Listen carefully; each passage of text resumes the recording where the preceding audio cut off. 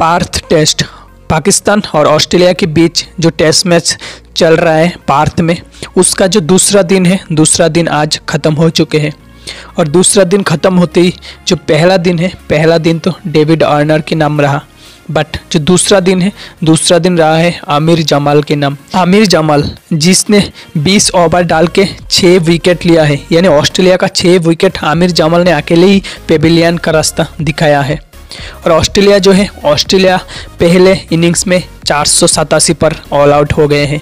और इसके बाद जब पाकिस्तान की टीम बैटिंग करने उतरी है, पाकिस्तान की तरफ़ से अब्दुल्ला सफ़ी की बयालीस और इमामुल हक ने अड़तीस रन की एक पारी खेली है।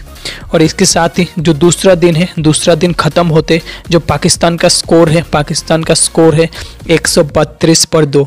अभी भी पाकिस्तान ऑस्ट्रेलिया से 355 रन दूरी पे है। और जो फ़िलहाल मैदान पे है, वो है शान मासूद।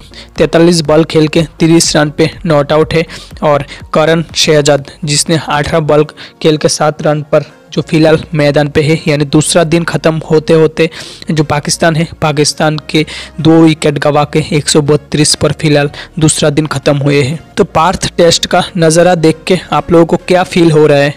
मैच ड्रॉ होने वाले हैं या फिर पाकिस्तान जीतने वाले हैं या फिर ऑस्ट्रेलिया? अपना कीमती राय ज़रूर दे के जाइएगा। तब तक के लिए बाय अपना ख्याल रखिए।